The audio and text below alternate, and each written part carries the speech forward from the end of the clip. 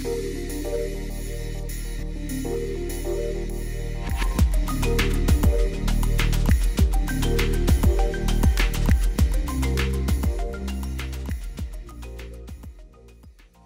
everyone and welcome to Youth Unite, a series in uh, episodes of uh, Youth Unite and today the topic is emotional intelligence.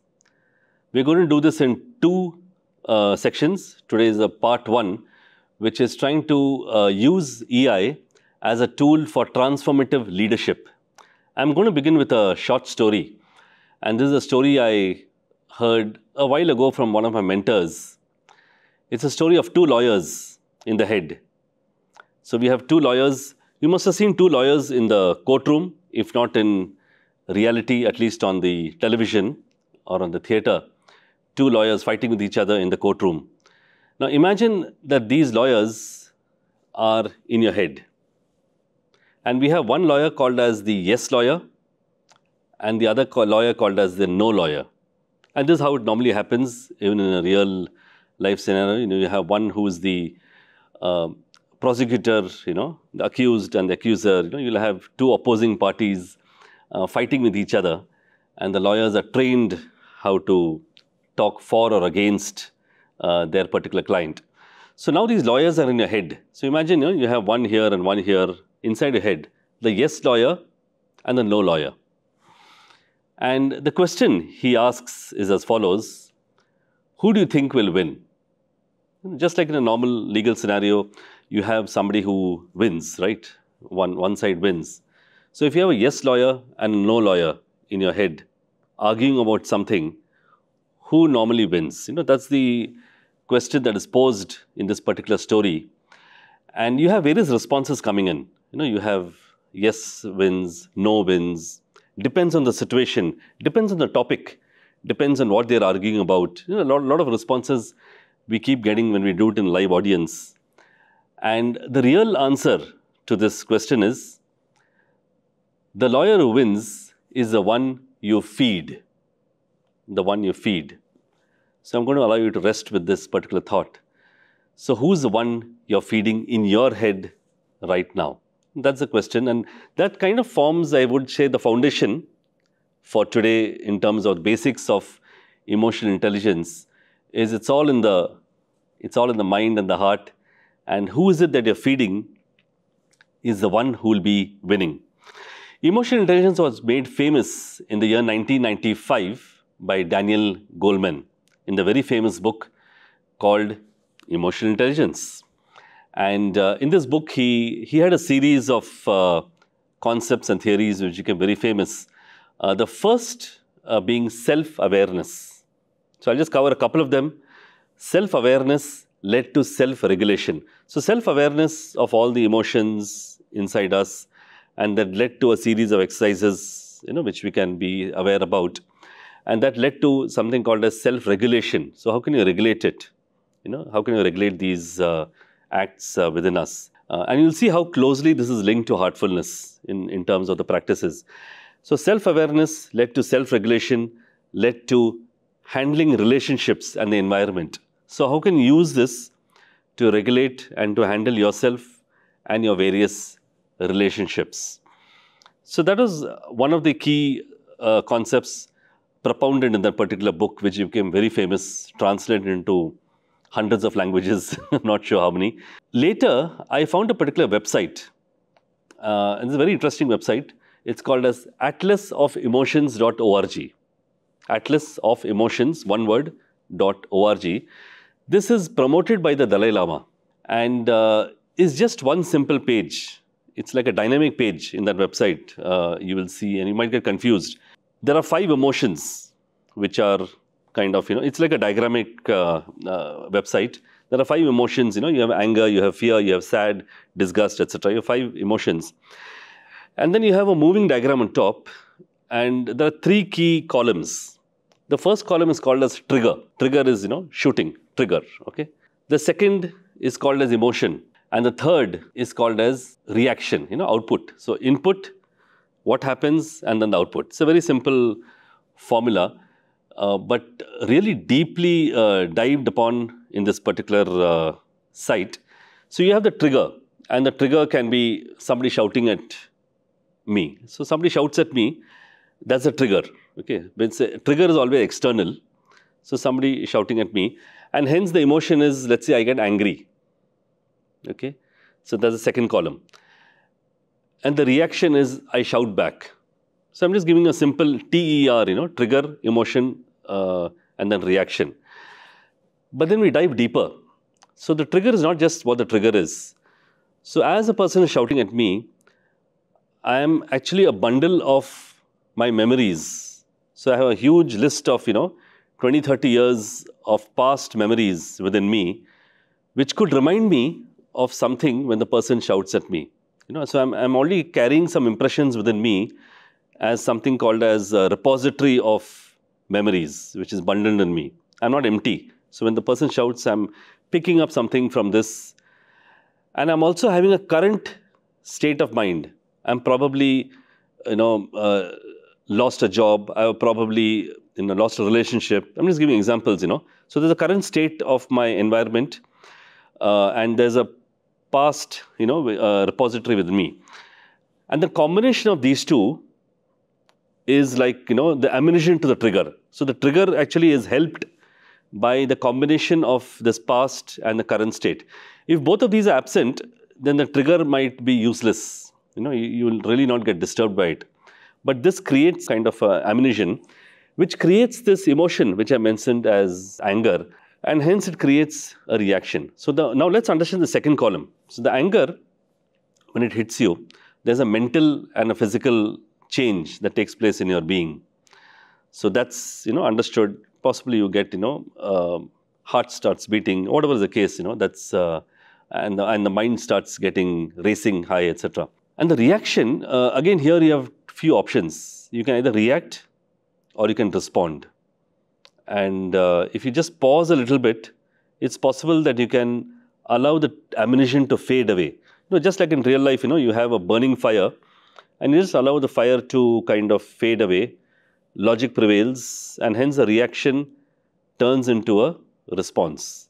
So you see this whole cycle. Uh, I love this website because it's a very it's a very simple diagrammatic image uh, which keeps moving when you click buttons, but it gives a complete view of emotional intelligence. Not just that, you change the repository and you change the uh, current state and the emotion starts changing. For example, if possibly I've gone through a fearful episode in my life and a series of fearful you know sessions within me, and then you shout at me, uh, now I don't get angry. I actually get scared.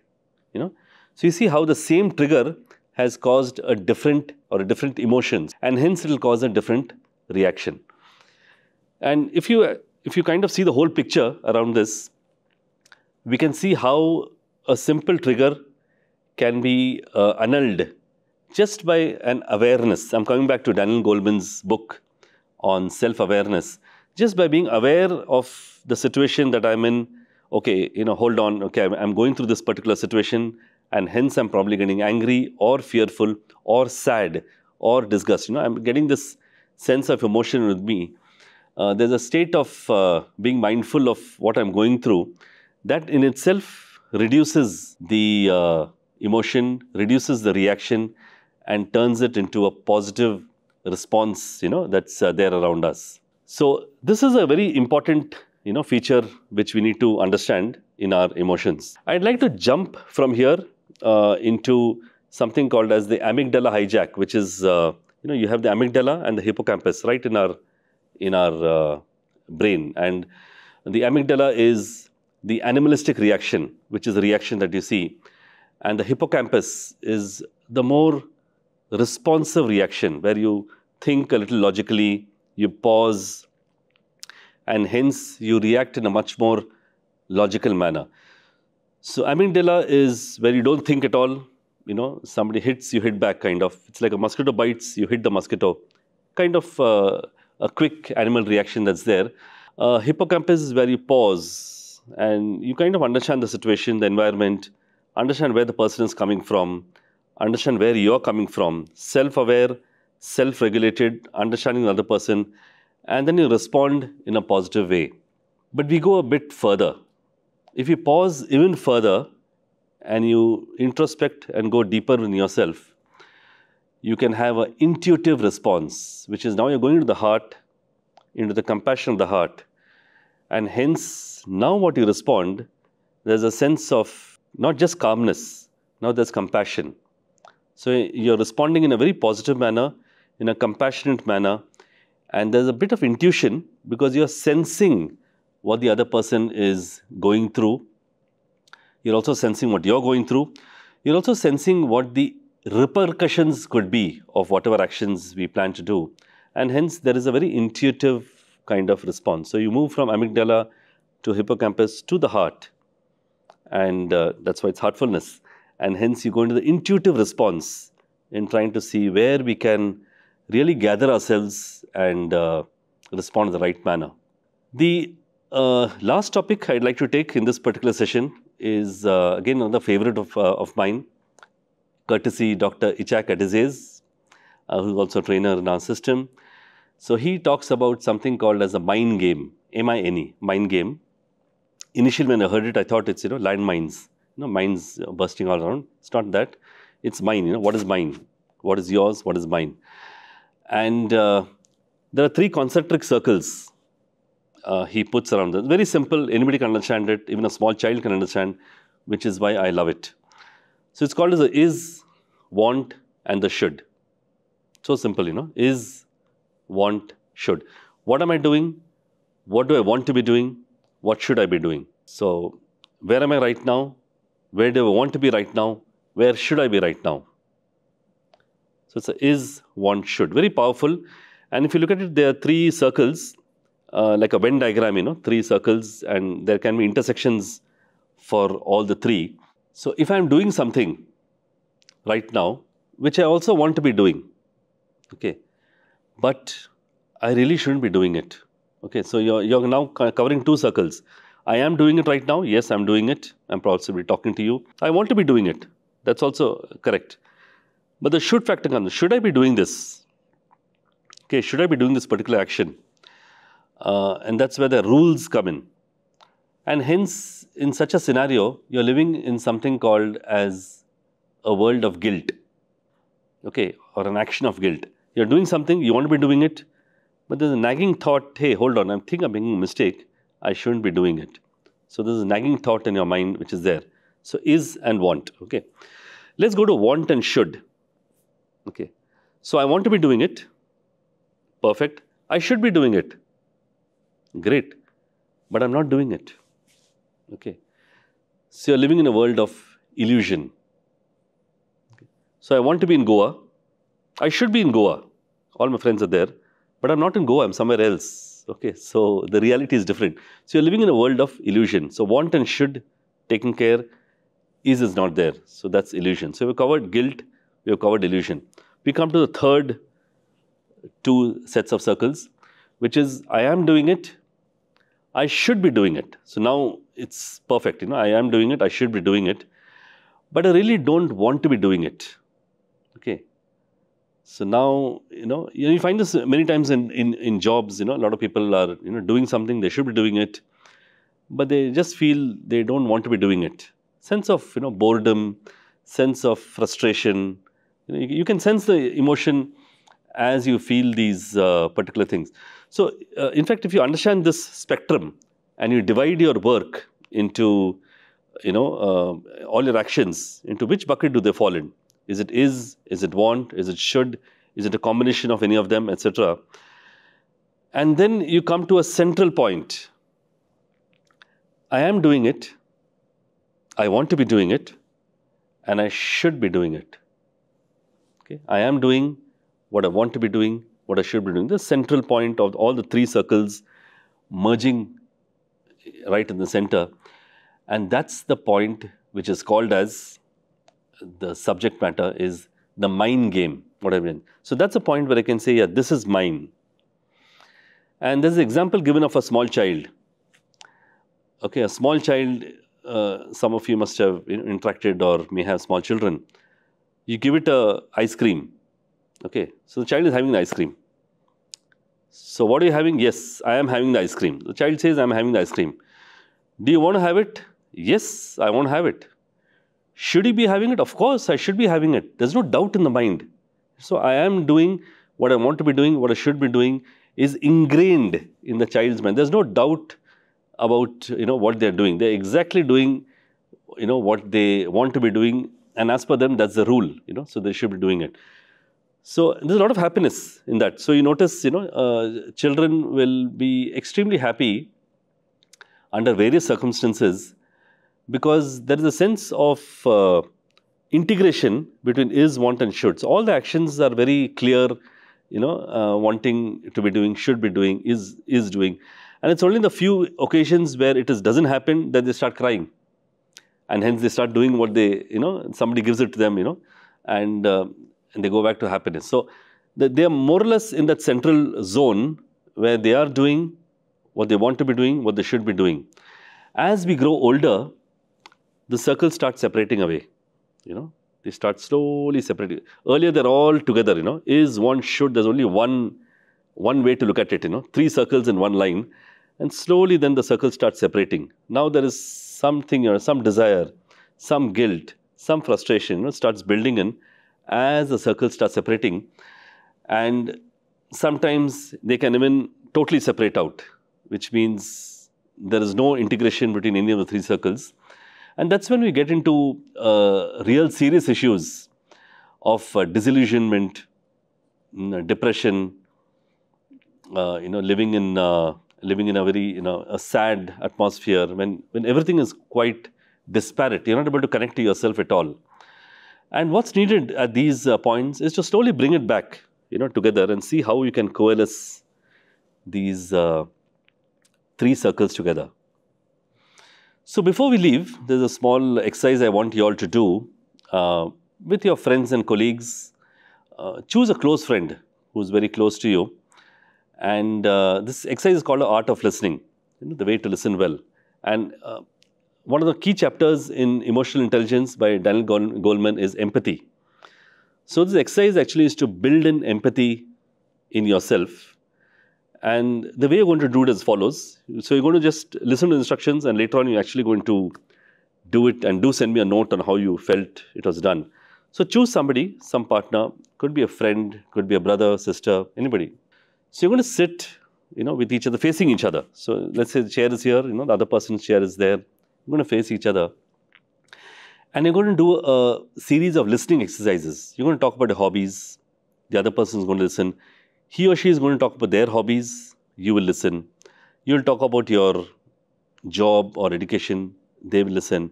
They talk about your job, education. You listen.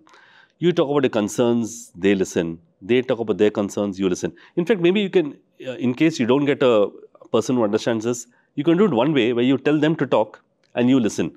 Uh, so the power of listening is where you listen without interruption. You know, you don't interrupt the other person. You listen very deeply, very compassionately. Uh, allow the whole person to talk and uh, focus on the entire being as they talk. Never have any, you know, mobile. You know, many times you see, you know, uh, people saying, "Ha, yeah, what are you saying? Uh, oh, acha, there was a robbery in your house. Oh, one minute. Huh? So, where did you say the robbery was? Oh, acha, acha. One minute. Huh? Hello? Yeah, yeah, yeah. Good Okay, fine. Uh, what are you saying about the robbery, etc.? So this is called as a very distracted kind of listening. So I want you to, when you do the exercise, focus completely and try to listen. And let me know how you felt. Uh, maybe in the chat or you know however you want to uh, talk to me, you can do it. So with that, uh, let's step into a small round of relaxation followed by meditation. Thank you.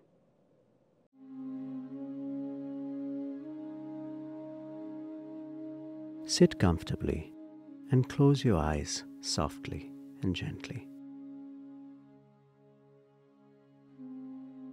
Feel a healing energy move up from the earth into your toes, feet, and ankles. Feel your toes relax and your feet relax. And allow your ankles to relax.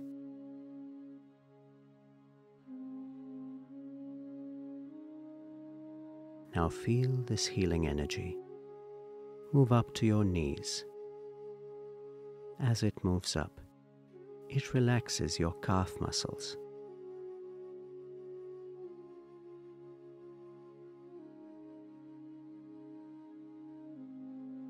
Feel this energy remove all the tension from your knees.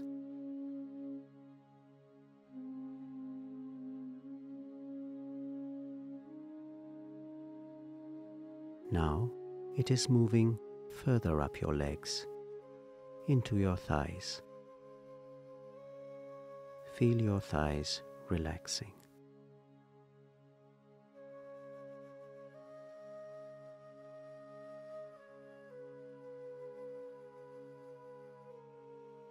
Now the energy has moved into your hips and waist. Feel them relax.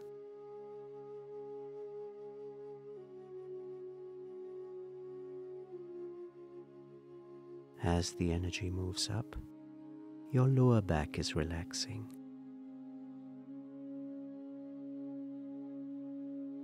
And your stomach.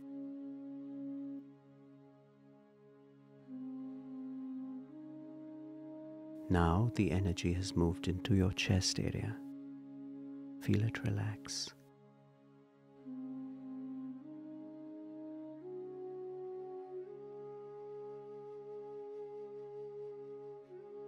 Feel the energy move up your back and into your shoulders. Feel your upper back relax.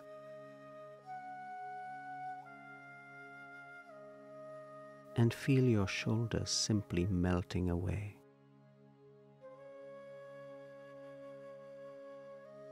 The energy is now moving into your arms they too are getting relaxed.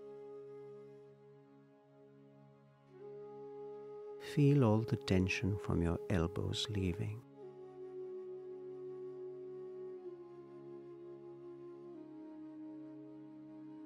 And as the energy moves into your forearms, they too are getting relaxed.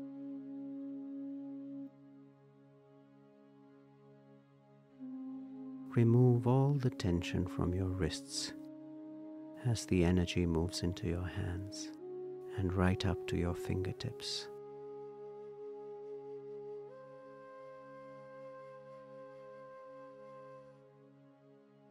Now move your attention up to your neck.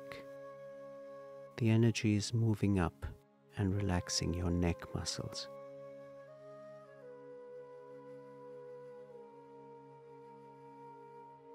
Now it is moving into your face, relaxing your jaw and mouth.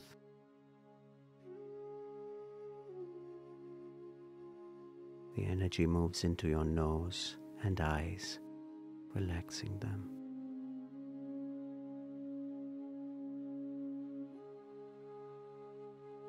Your cheek muscles are relaxed.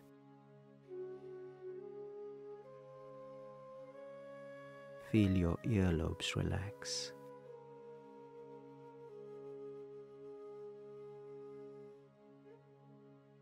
And now the energy is moving all the way up to the top of your head. Feel it relax.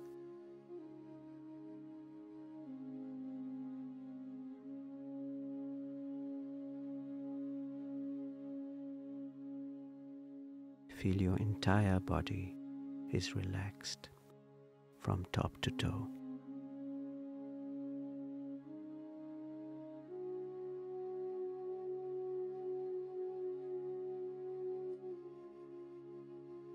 Now move your attention to your heart. Feel that a source of light is already present in your heart and it is attracting you from within. Do not try and see the light, just know that it is there in your heart.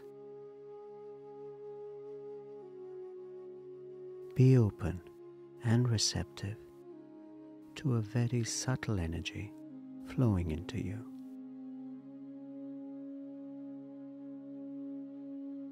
Relax into this feeling.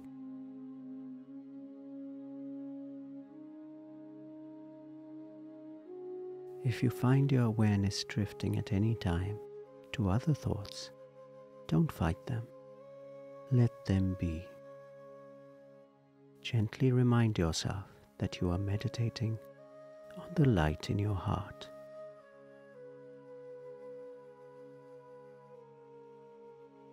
Allow yourself to become more and more absorbed within.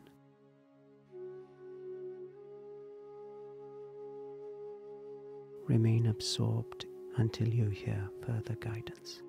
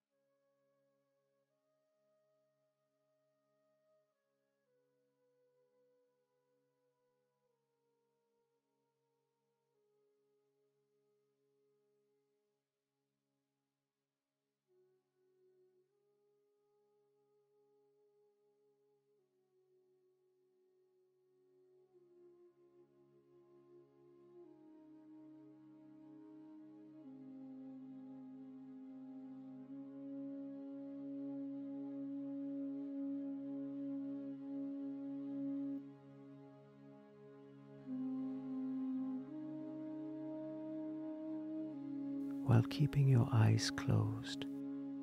Gently come out of the state of meditation.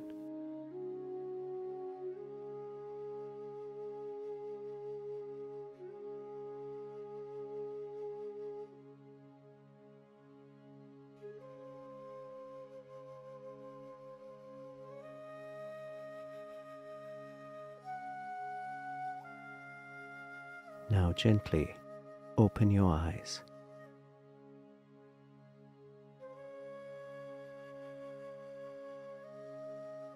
Reflect on what you just experienced.